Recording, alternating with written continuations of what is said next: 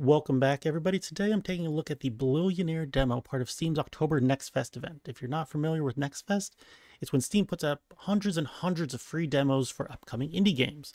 And there's a lot of stuff out there, too much to go through yourself. I played about 30 demos, talked to some other people, and their favorite games weren't the games that I played, and vice versa. There's just too much out there. So I'm trying to make quick review videos for the top picks that I played to hopefully get the word out for these games because they seem to be really great games and maybe some other people like them too. I've been playing them, all these games on Twitch live, so if you're interested in watching me on Twitch or if you're interested in the full VODs of any of the um, games that I played, I'll have links down below, but let's just jump into the game. Ballionaire is roguelike pachinko. If you're unfamiliar with the pachinko, it is a game where there's a board with a lot of pegs on it. You drop a ball from the top, it randomly, theoretically, hits these pegs, bounces in a weird way. You get points based on the number of pegs or where it lands at the bottom or any number of things like that. It's a fun arcade game. I think it's pretty popular in Japan as like gambling, but over here in America, I don't think we do that very much. Um, now, the thing about this game is that every time you drop a ball, you get the choice between random objects to put in the way. So I'm just putting a campfire down. That will uh, that will spawn a fireball every time I drop a ball, and that will give me more points and so on. And these effects stack on and stack on and stack on.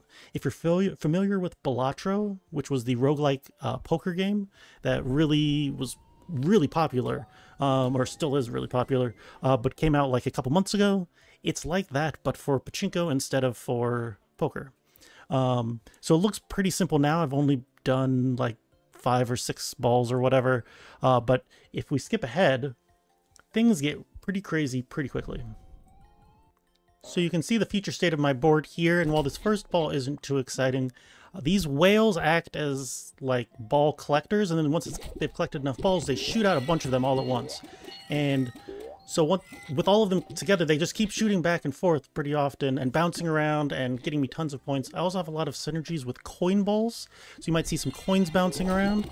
Uh, the bricks make coins, the investment stock market in the kind of top middle wants coins, and so does the piggy bank at the bottom. And I don't know, there's just so much to talk about with this game. It's so exciting and fun, and probably why it's a good gambling game, even without all these crazy things, to be honest. Uh, but uh, I'm having a ton of fun with it, and it's going to be it's on my wish list already. So uh, whenever it comes out, which there's no release date yet, as far as I know, at least on the Steam page, um, I'm going to most likely pick this up and have a ton of fun with it. So uh, thank you all for watching. If you're interested too, I'll have a link to the Steam game page down in the description, and um, hopefully you pick it up.